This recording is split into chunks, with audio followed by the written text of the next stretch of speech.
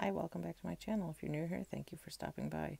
The first card we're going to make is with some duct tape from the dollar store, which I guess isn't really trash, but you know, most people have it around their house and it's kind of like indisp- indispensable.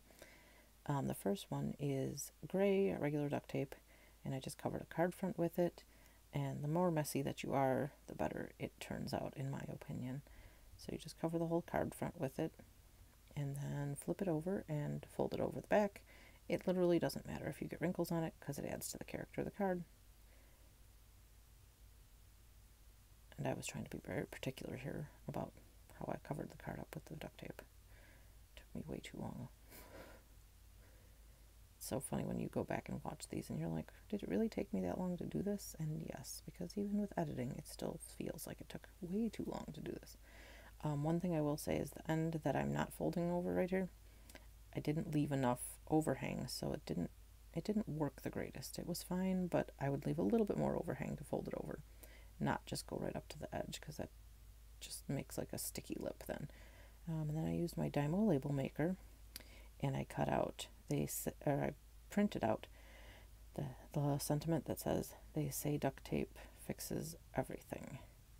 Um, I saw this idea on Pinterest. It was I adapted it to work for me, and I couldn't find a true source, so I really don't know who to thank for the idea for this card.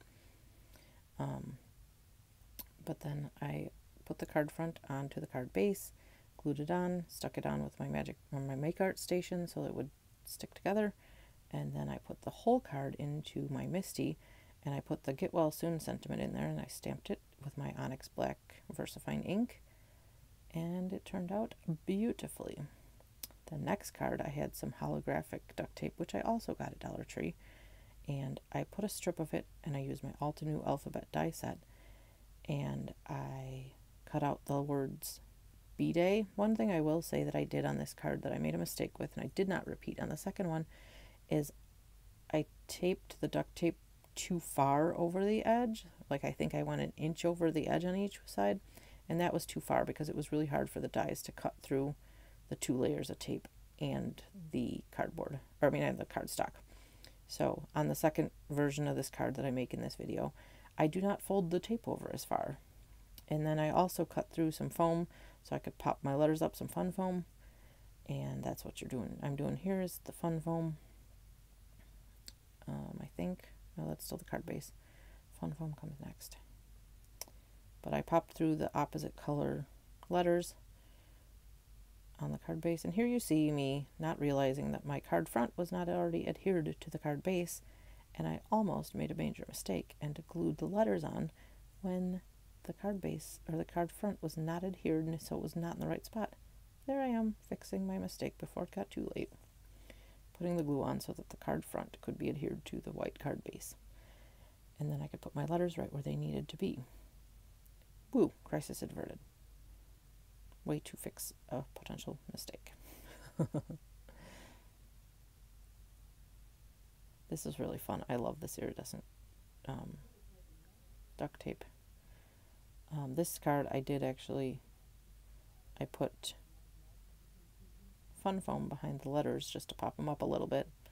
And the one below that, which is the back black card front with the red strip of tape, and the silver letters, I did not do that. I just wanted to see difference wise how it would be. And I mean, I like them both. The one that's completely one layer, that one's cool.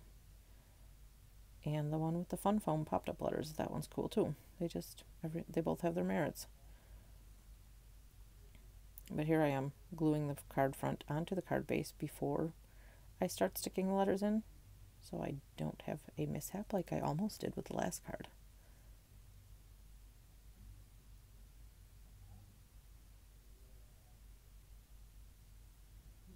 Feel like these could, you know, they could work for a kid. They could work for a masculine card, and universal card. And I have a sentiment stash cup with lots of different sentiments in it, so that would work for anybody.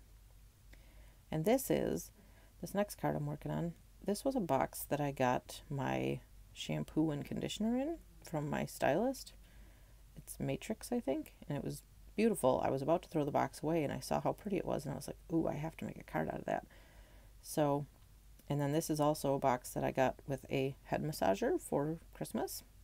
So I saw the beautiful coloring on here and stuff, and I decided to rescue the parts I could to make a card out of.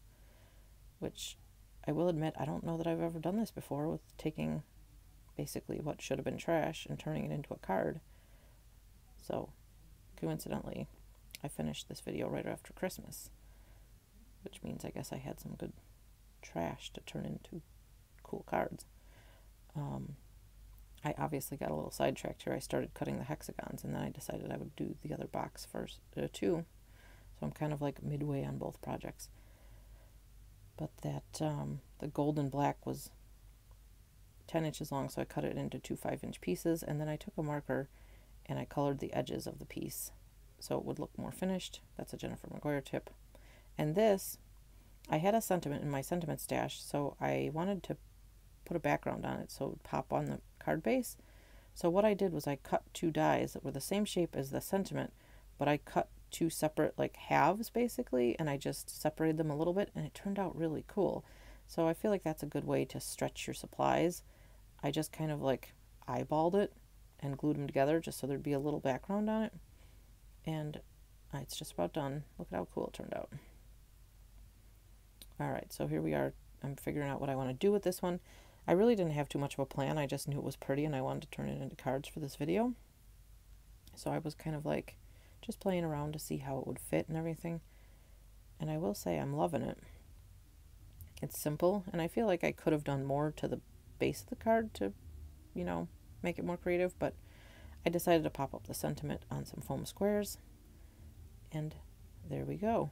I love this card. And it's cool that the majority of it was trash. And I saved it and turned it into a card.